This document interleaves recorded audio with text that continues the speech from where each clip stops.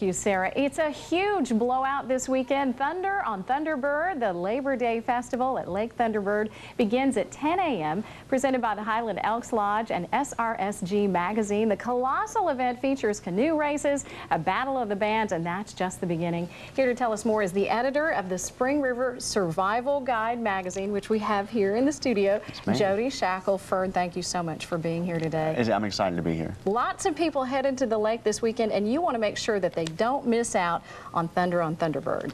Thunder on Thunderbird is, is a really big deal to our area. Now, this is the first year that we've ever done anything like this. Uh, we got Jack Lowe with the Highland Elks Lodge uh, got together, and he decided he wanted to have a blowout. You know, we have we have big weekends, there's Memorial Day weekend, and we have Fourth of July weekend, and Labor Day weekend. Everything seems to fizzle a little bit, and uh, but it, it doesn't need to. So he said, you know, we're going to have an event that's really going to bring the people to town, and we're going to give them something to really be proud of in our area. So he came up with Thunder on Thunderbird. Uh, it's, it's, it's intense. It's going to be a big deal. You have an antique car show, these canoe races. We've got a beauty pageant. We've got we're gonna have bands there, uh, food and craft vendors, bouncy houses for kids. But the big deal and the real the, the thing that we're really super super excited about, and that's going to be the fireworks show. Oh, Uh, Air, Air Magic, uh, this company out of Batesville is coming in, and uh, they're going to put on a big fireworks show. And it's not like you know there's fireworks on Fourth of July, but this is actually going to be set to music, which is very different synchronized. synchronized. It's going to be exciting, and it's all in commemoration of kind of 9/11, uh, and it's uh, all the proceeds are going to go to help the Highland Elks Lodges. What is it? It's their scholarship program.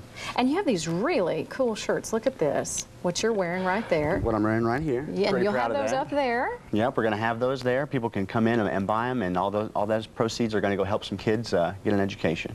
Now, where is Lake Thunderbird for those who are not familiar with the area? Okay, this, you know, everyone says, oh, everyone's heading to lake this weekend. Well, by the lake, we mean Lake Thunderbird, and that's in Cherokee Village. it's about an hour north of Jonesboro. And easily accessible, especially anybody who heads north. It, it's it's one of the best kept secrets in our area. I think if everyone head out, if you head out to Lake Thunderbird, you are not going to be disappointed this weekend. It's going to be great. And you have knowledge of this because you have this magazine. Yeah, and absolutely. it's been Um, very successful here in recent months.